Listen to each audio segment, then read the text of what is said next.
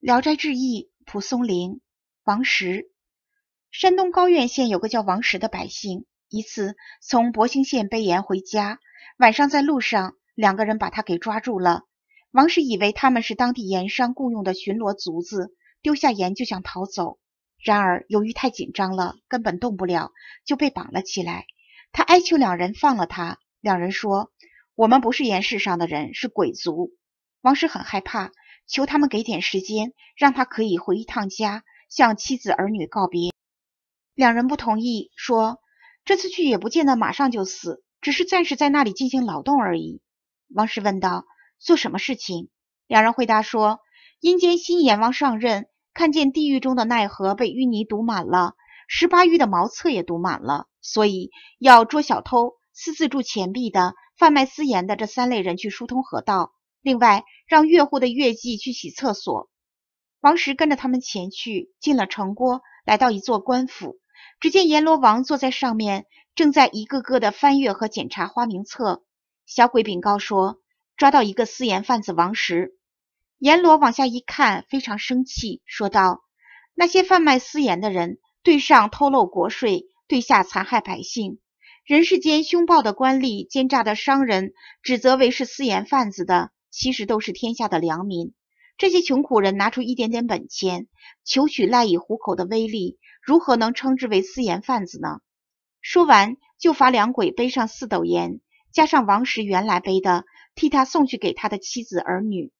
阎王留下王石，授予他一把带刺的长棍，让他和众鬼一道去监督河工。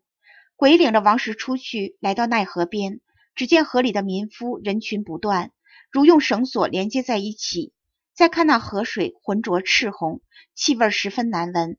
逃河的人都赤身露体，拿着竹筐和铁锹，在河水中进进出出，把腐朽的尸骨装满筐再抬出来。水深的地方就钻到水里去挖。看到有人偷懒，就用带刺的长棍捅一捅他们的后背、大腿。和王石同时监工的鬼给他一粒豆大的香棉丸，让他含在嘴里。才带着他一起走到岸边。王石发现一个高院的盐商也在挖河，王石只对他十分严格，下河就打他的后背，上岸就敲他的大腿。盐商害怕了，常常把身子沉到水里去，王石才没有继续打他。三天三夜过去了，挖河的民夫死了一半，工程也结束了。前面的两个鬼仍旧送他回家，他猛地醒了过来。原来王石没有把盐背回家去。天亮了，他的妻子打开门一看，只见两袋盐放在院子里。但过了好久，王石也没到，请人到处去找，发现他死在了途中。大家一起抬他回了家，还有一点气息。